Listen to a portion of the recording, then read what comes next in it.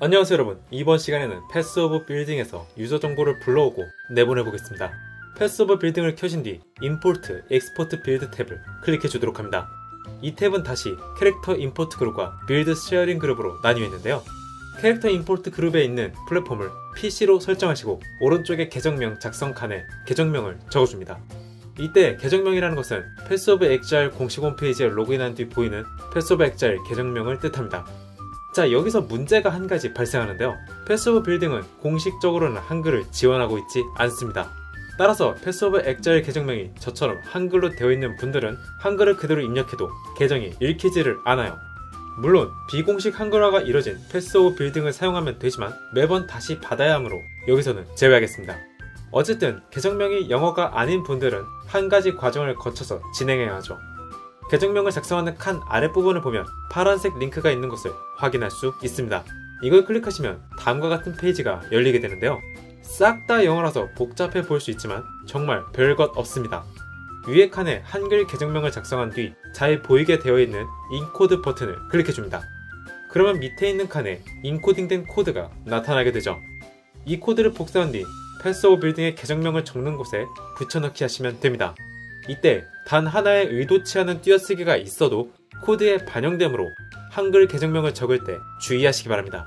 이 부분은 본인뿐만 아니라 다른 사람의 계정 정보를 불러오고 싶을 때도 마찬가지인 점 참고하시기 바랍니다. 계정명을 적은 뒤에는 start 버튼을 누르면 됩니다. 그러면 보통 잠깐의 로딩 뒤 계정 정보가 불려오게 되는데요. 여기서 다시 몇 가지를 선택해야 하죠. 리그 항목은 보통 all로 놔두는 편이니 이대로 두시면 됩니다. 그리고 바로 아래에서 불러오고자 하는 캐릭터를 선택해주면 되죠. 보통 레벨, 직업, 리그 순으로 작성되어 있는데요. 이걸 보고 본인이 확인하고자 하는 캐릭터를 선택해주면 됩니다. 여기까지 마쳤다면 이제 디테일한 정보를 가져올 차례인데요. passive tree and jewel 항목을 선택하면 해당 캐릭터의 passive tree와 jewel 정보가 가져와지고 item and skill 선택하면 장비와 스킬 정보가 가져와집니다. 물론 보통은 두 항목 다 클릭하여 선택하게 되는데요. 잠시 오른쪽을 보면 delete와 같은 체크박스가 있는 것을 알 수 있습니다. 이 체크박스에 체크하시게 되면 기존에 보고 있던 캐릭터의 해당 정보를 모두 삭제하고 새로 불러오는 캐릭터의 정보만을 남긴다는 소리입니다. 저는 그래서 매번 체크를 하는 편인데요. 만약 체크를 하지 않으면 passive 등의 각 항목이 점점 더 짬뽕이 되어버리기 때문이죠. 이 부분에 대한 선택까지 마친 뒤 모두 불러오고 나서는 Done을 눌러주시면 됩니다. 그러면 다시 원래의 import, export build 창으로 돌아오게 되죠. 이번에는 아래에 있는 build sharing 그룹으로 시선을 이동시켜 보겠습니다. Path of Building에 캐릭터 정보를 불러오는 방법은 한 가지 더 있습니다.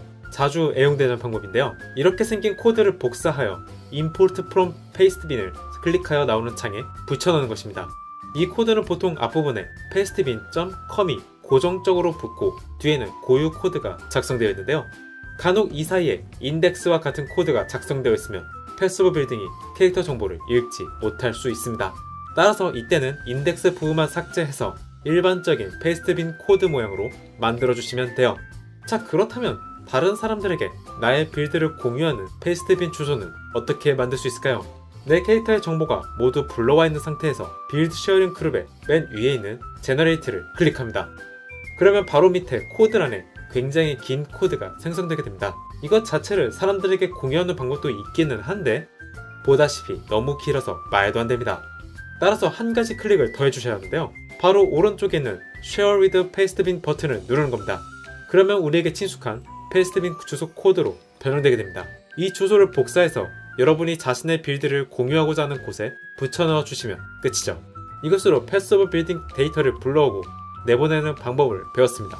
오늘 강의는 여기까지입니다. 시청과 구독, 좋아요 감사드립니다. 지금까지 큐브팀이었습니다.